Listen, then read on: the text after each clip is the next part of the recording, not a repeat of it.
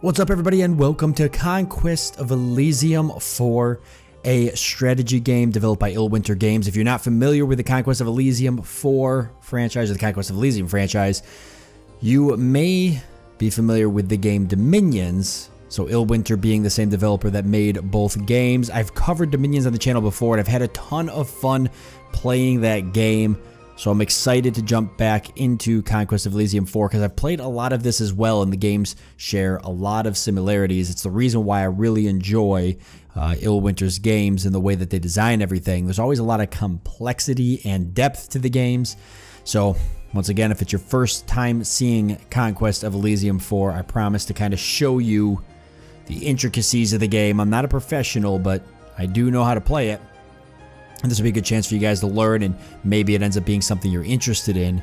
Now, the great thing about Conquest of Elysium 4 is it's a very easy game to learn how to play, but it's very hard to master.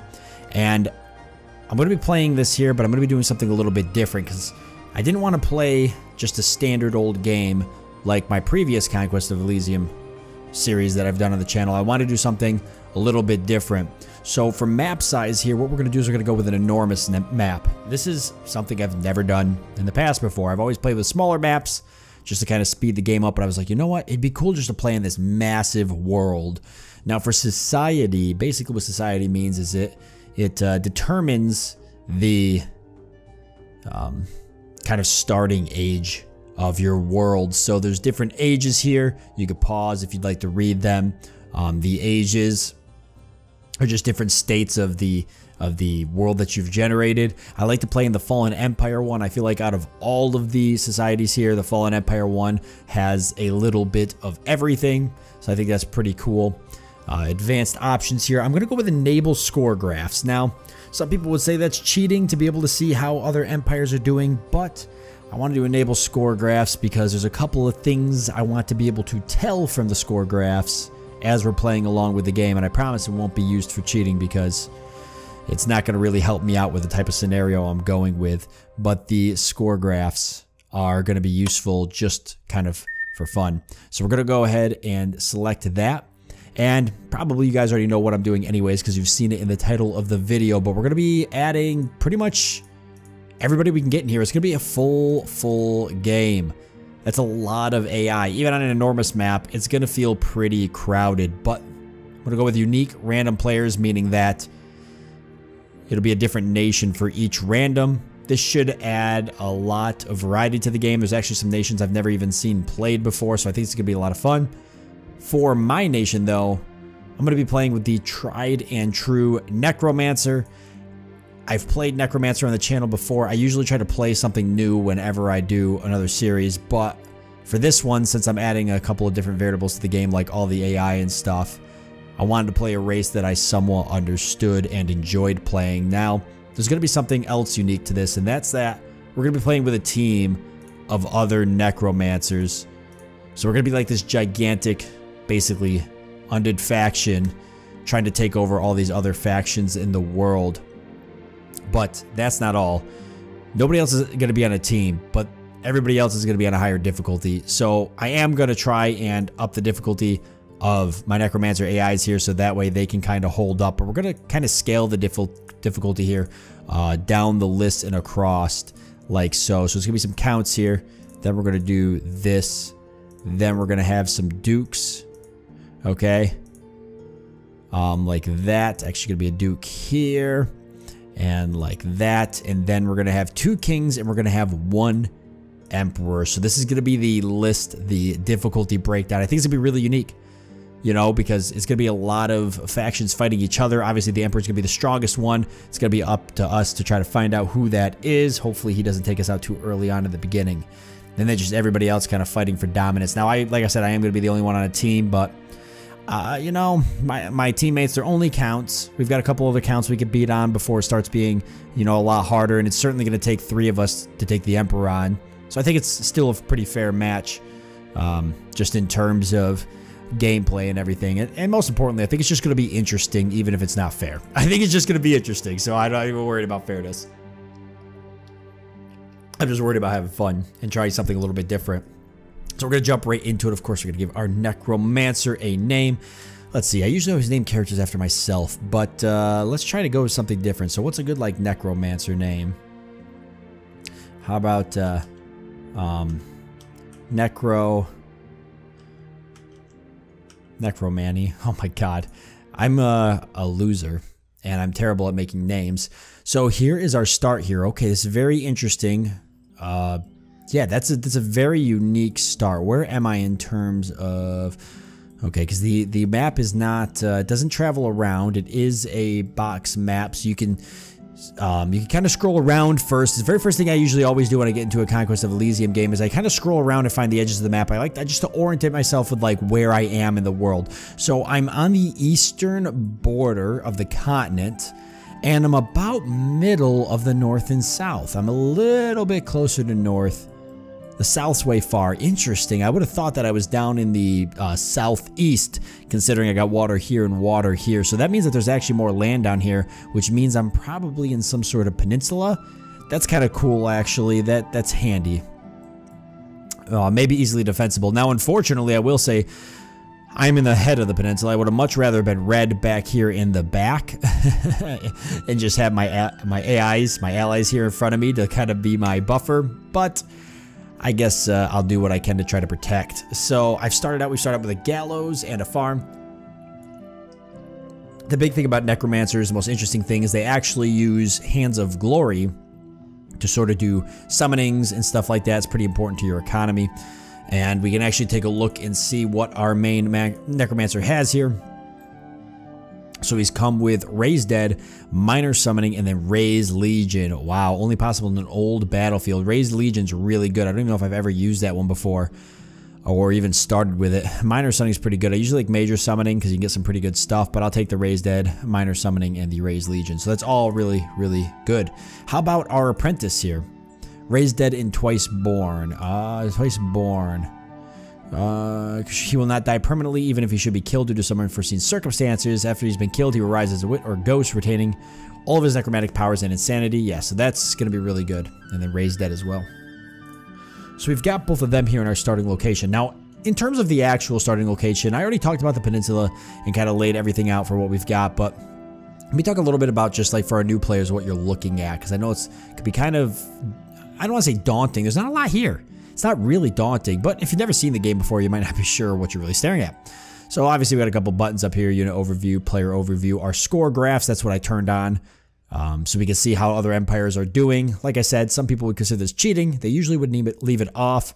I feel like just, you know, I want to be able to see it because I just want to I want to observe it. I kind of want to see like, okay, how's, you know, the other difficulty players doing and stuff. Um, it is going to tell me all the people that are in the game because I can hover over this and see, but that's all right. We'll probably be able to tell who the Emperor difficulty player is after about two turns because they'll be the ones that are just skyrocketing to the to the heavens, whilst everybody else is kind of stagnant. Uh, so it's kind of cool because you can tell the difficulties of the different AI based off of just the score graph. A lot of the reason why I wanted it up. Uh, for Necromancy, that's what we're playing here. Uh, we can see it's midsummer. We've got our gold, our iron production, we've got trade, and we've got the Hands of Glory, which is unique to our faction. Not every other faction is going to have this. Sometimes factions don't have anything but gold and iron. Some factions have other things. Um, and just a couple of, you know, stuff here. Uh, this is ability uh, things for our unit that we're clicked on. You can see uh, just clicking on the different units here. We've got two hero units, and then just kind of like recruiting units out of your your uh, citadel, which we're sitting on currently and stuff like that. A couple of different, we got some undead here and stuff. Uh, we can get regular swordsmen and, and whatnot as well. They're kind of expensive gold-wise, but you get you get the picture basically. So this is where we're currently clicked. This is our citadel. We've actually got a hamlet right here and a farm right below us, and neither of these, neither of these are taken over. So the stuff that we own is highlighted by the green boxes. Our allies obviously highlighted by their respective colors. And we've started with a couple of things nearby, which is worth you know, you could take over these towns and these hamlets and you get resources for it indicated at the bottom.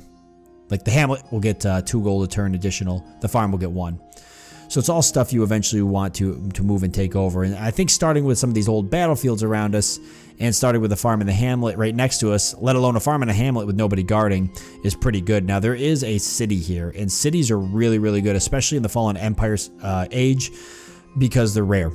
And they produce, as you can see, a lot of income, a lot of trade, and, and cities the only way you can you can generally get trade. Cities, ports, stuff like that. You, you see the hamlet and the, the farm don't generate any trade, and neither does the your starting citadel. So this is really good. It also develops um, a couple of other things as well. So the city's like real nice, but it, it's going to take a lot. Cities are usually very well defended. In fact, we can actually click and see they got a catapult. They've got a high lord and a couple of stuff. Actually, not too defended, but you got to break down these wooden gates here to get inside to fight these guys. And the, meanwhile, the catapults just you know dropping rounds over you, so it's not always great. So actually, we're going to go ahead and we're going to transfer units over to our, our Necromancer. Meanwhile, the, the Apprentice, the Apprentice, we might just leave him hanging out for now. Um, maybe we'll have him raised dead and we can repeat that ritual.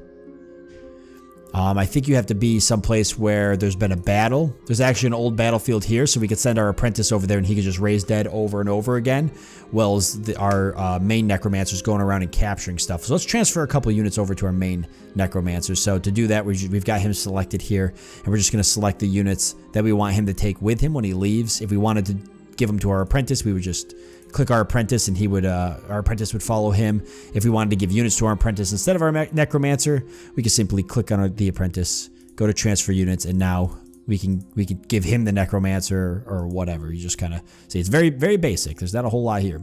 So we'll give him about half of the army and maybe three. Uh, let's leave three and one. I don't propose we're going to get attacked super early, but I have seen independents take out citadels before. Independents being the wolves, crocodiles, and all the various other um, non-faction related units that are currently on the map. But I think we're going to be okay. I'm going to go right for the hamlet, actually. And then uh, I'm going to take the old battlefield so I can get my apprentice over there and he can start raising dead. Um, as for anything else, I actually could um, so because it's a battlefield, I could raise Legion, but we obviously don't have the hands there. I don't have enough action points to be able to raise dead, and I can't do minor summoning, so I can't do anything else with that unit. And I can't do anything with my apprentice, so he'll just hang out there. We'll end the turn. So here's our battle with the Soulless. To move in. Archers are to fire their rounds. So battles just kind of happen. You just kind of watch them. You're not really, you don't get to, you know, do anything with your units or anything or cast any abilities. It all kind of happens. Um, like my Necromancer is currently casting his own abilities and stuff. Um, there you go. He's raising a couple dead for us. And uh, we just watch. So we might lose a few spearmen here and there, but... Nice. Him raising a couple dead definitely helps us. Wow, he's raising a lot of dead. That's going to be great when we start fighting some other areas. Oh, we found a magic item, the Ring of Infinite Gold and a Gem of Fire Resistance. Wow. Uh, maybe because it's an old battlefield? I've never gotten that kind of luck before. That's great. I can take a look at these items right now, and our guy here, he should have equipped them. So the Ring of Infinite Gold, gold bonus of five a month. Wow, what a great early game find. This is already shaping up to be one of my best games. And fire resistance 100, which is always wonderful, but that that gold, that bonus gold is crazy. It's a crazy good ability. All right, so blue's heading out. Actually took uh, both of his, he pretty much took everybody with him. He only left, oh, four, oh, he built a couple because he's a little bit higher difficulty. He started with some extra gold. Okay, okay, no big deal. So we're gonna. I know I want to definitely head down, um, and take this before red does. So let me go ahead and secure that. As for the apprentice, I can't really give him anything, and I can't recruit any units for him to take with him. So I'm, I'm taking a big risk here, but I'm gonna have him uh, raise dead. Holy crap, there was a lot of dead there. And that is the wonderful thing about old battlefields is you sometimes get really lucky. So he actually got all those attached to him, uh, which is crazy. Now undead units are fairly weak, so you kind of look like, wow, that's really good. But you can see their hit points, you know, three hit points, three hit points, four hit points. They're they're not very powerful, um, but they're great fodder. All right, so I'm gonna end my turn. So I might send my Necromancer back actually to do the raised dead. I don't know. I haven't figured it out. Or I could just have him swap units here. There's another old battlefield up there. Ooh, we got an ancient temple guarded by some minotaur. And that, uh, what's that do? What's it produce? I don't even know. I've never, there must be good items there or something. I've never messed with the ancient temple. Um, we got a swamp here with some crocodiles. We're going to want to take those out. We got another battlefield. Why don't I take this guy now with his new army and start sending him over and then we'll actually do Raise Dead here. So we can get a couple units.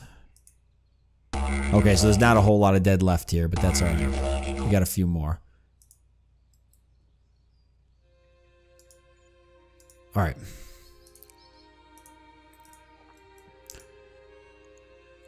Um, all right, let's end our turn. Let's take a look real quick at the graph.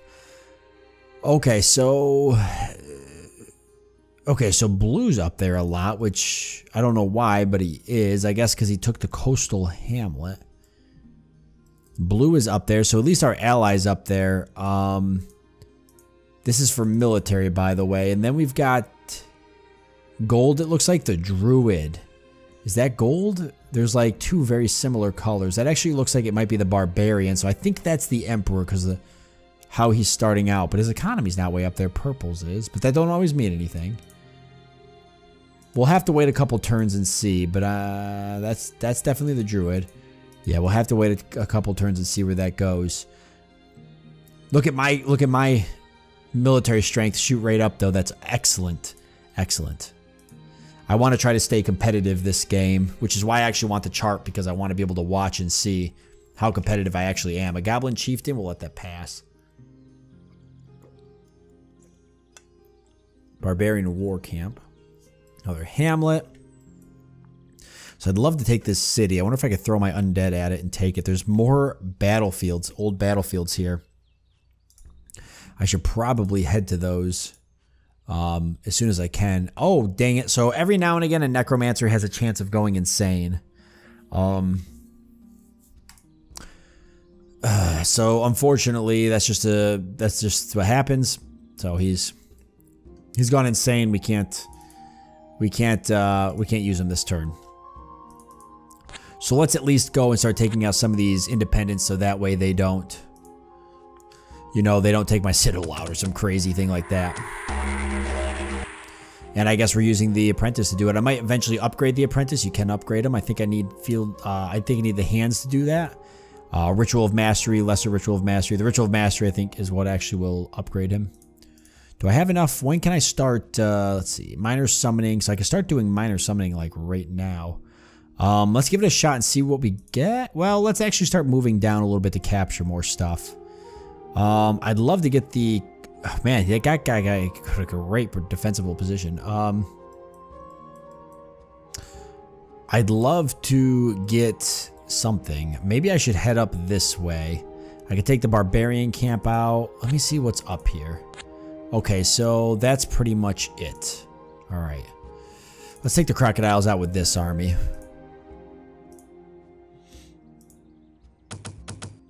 Crocodiles are pretty beefy. Used fear on one of them. Used fear on both of them. That's great. That fear is really, really good. Was it panicked? Oh, he's insane too. Well, where's he getting that? So he's got the fear. Yeah, that works really good. So we can simply just win just by using fear. Oh boy. Is that... That's not the barbarians though. That's yellow. That's not gold. So don't think that's the emperor, but we can take a look at the chart again just to make sure. I don't think that that is... Let's see. There's only one way to do this. Oh. It is the barbarian. Okay. And then there's a druid. So who's that down there though? That's not the barbarians, is it? Oh, where'd they go? Okay, so I can't see them now. You must have took something out. There's a watchtower there though. That's always good. All right, the snow is going to make it a little bit harder for us to travel. Uh, so I can't move into any of that.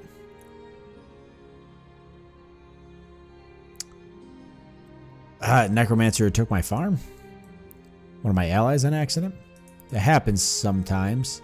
He can't even move. He's not insane. He just can't move. I must have technically used him in that turn. I'm not sure. Okay, we can hire a captain. I'm going to skip over it. I'm waiting for more necromancers to be able to hire. I want to move on that. Old battlefield so I can keep my...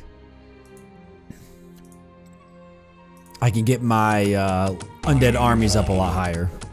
You don't get to keep the skeletons you summon during battle, by the way. Wow, a pendant of the gods. Okay. Ooh, there's actually a wraith here. I never would have guessed. All right. That could be a little challenging. They're ethereal and stuff. They're, they are hard to take out, but I think we'll be able to overwhelm them with sheer numbers. Yeah. Yeah, archers made short work of them. That's excellent. Uh, magic flowers, okay. So we'll take a look at both of those items.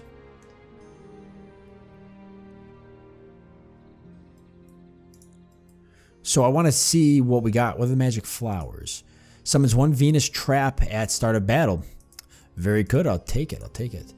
And then he grabbed another item, but he couldn't wield it. Um, so what did he do with it? Trying to remember where items go. I don't even remember what the item was.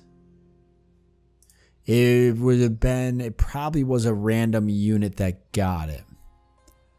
Um, right there, he's got it. The Pendant of the Gods, all plus one shock resistance flying. Holy crap. Um, yeah, so for that random unit to have that really doesn't make any sense. The, the Ring of Infinite Gold should go to somebody else.